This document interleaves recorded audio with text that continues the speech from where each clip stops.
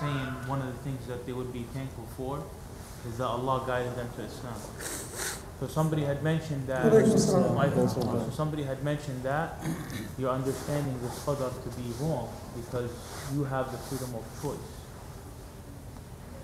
So, which causes some confusion here to the person that asked me to ask this question. So now it's like we know Okay, that so Allah. what is the question? Because somebody was saying they're thankful that Allah guided them to Islam. Someone is saying they're thankful that Allah guided them to Islam. Okay. So the, the answer to that was you're understanding the qadar wrong because you have the freedom of choice. So the understanding is, does is it يعني Allah يهدي من يشاء ويضل من يشاء? Does that mean that Allah chose for us to be Muslims and chose for the non-Muslims to be Muslims? So the person who answered him does not want him to thank Allah for guidance?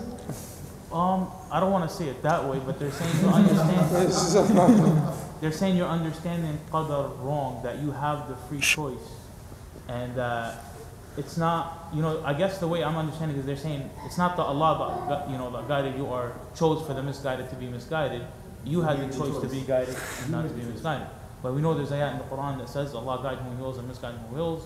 And you know, a lot of I don't know if it's a hadith, but I know it's a dua. Yes, Allah, yeah. The, the understanding of Ahl Sunnah is that, you know, you have, you have a will that is superseded by Allah's will. Right?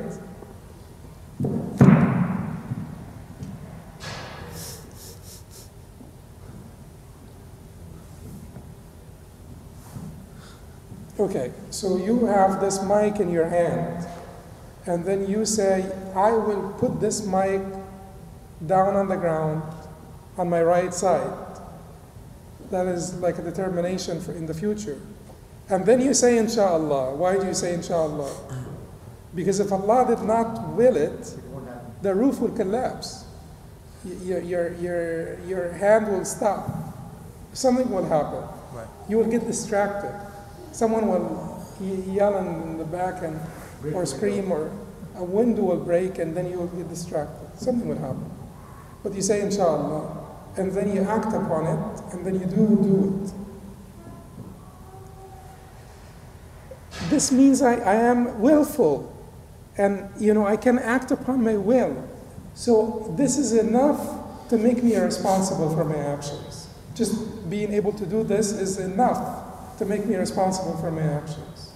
The fact that Allah's will supersedes my will does not make me an unwillful or incapable of making determinations, a, a, a creature that is incapable of making determinations. Because if I am not capable of making the, you know, determinations, then how would I be punished for my you know, uh, actions? I have enough will to be responsible. It is superseded by Allah's overarching will, Azza wa Jal. To understand that to have complete comprehension of this concept is beyond us. Is beyond us. Because at the end, you keep on telling yourself if His will supersedes my will, then at the end of the day, my will is controlled by his will. Because the Sahaba asked the Prophet that, right? Yes, and then he said, "Amalu lima So act for everyone will be will have the path to what to his destination facilitated for him. Everyone will have the path to his destination facilitated for him. Uh, but you act, and the fact that I am, you see, I am capable of saying this, right? Yes. I will bring this up and, and I do bring it up. I will bring it back down, inshallah, and I do bring it back down. So it means I make a determination and act upon it. No one is obstructing me. The same applies to your salah or to your uh, acts of righteousness or wickedness. You make a determination, you act upon it, no one obstructs. This is enough to say that you're responsible. This is enough to say that you're accountable. And that's it. And don't get into the philosophy of this because it is not pertinent. And it is waste of time. Because at the end of the day, you're here, you're being tested. This is like one of our mashayikh used to say, it's like you're sitting in the classroom, the, the teacher walks in, gives you like a surprise exam, you know, everybody gets out their answer sheets, you know, or if you want to argue about the fairness or unfairness of the exam, it's up to you. You could argue. Sit down and argue about, you know, the surprise test being unfair. But at the end of the class, at the end of this one hour, you will be graded, whether you liked it or not. It is happening, brothers. We are here. We are being tried. We are being tested. So if you want to sit down and talk about the fairness of the test and argue about the fairness of the test, you, you would not, no one would force you not to. But at the end of the day, who, who's going to be the loser?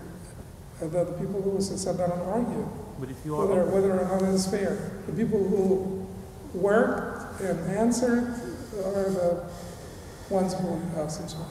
but if you are up in prayer, you can't thank. If you're making tahajjud, for example, you can't thank Allah for choosing to have you awake in the middle of the night while others are sleeping. Facilitating, right? You, you can thank him that he. Well, allowed you to absolutely, get it up, is, right? without Allah, you would have not been able to make Get up, it. Anything, yes. Uh, so certainly. Uh, the, the Prophet ﷺ clearly told them, "من يدخل الجنة أحد بعمله." No one will enter paradise because of his own by his own deeds. ولا أنت يا رسول الله, they asked, even you, O Messenger of Allah, he said, ولا أنا إلا أن يتغمدني الله برحمته.